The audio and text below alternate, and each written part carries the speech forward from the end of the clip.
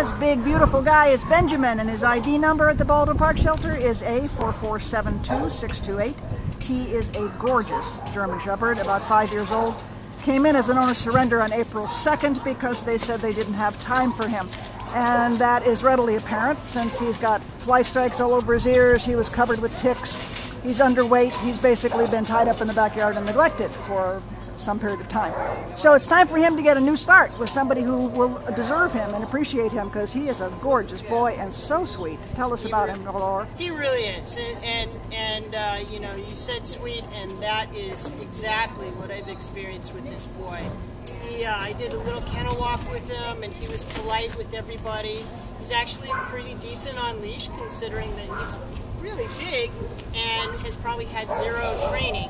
Uh, he was not pulling too hard at all. No. Um, and I think that he's, you know, he's, he really has not had that great of a life, but he's a sweet guy, and I think he's really going to.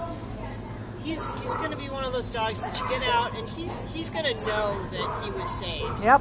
And he's going to really appreciate it, and he's going to be really grateful. I think that this dog, um, you know, whoever whoever adopts him, you know, I think that they will sum up their experience with him in one word as being grateful.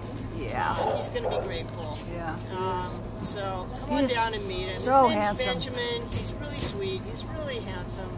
And, No, he is uh, a stunning, stunning and- looking yeah, dog. and he's you know once he gets you know once he gets some somebody in his life who treats him the way that he ought to be treated. Yep. Uh, he's gonna be a stunner, and people are gonna be like, "Oh my gosh, where did you find this dog?" That's right. You know, and, right. you, and you can say you found him at the Baldwin Park Shelter, and uh, there are wonderful dogs here, and he is one of them. So, So come on down and and meet him and get him out of here because he deserves it. And if you deserve a great dog, you can have him yeah, right here. he's he's really he's gonna be a really great dog for Yes, he is.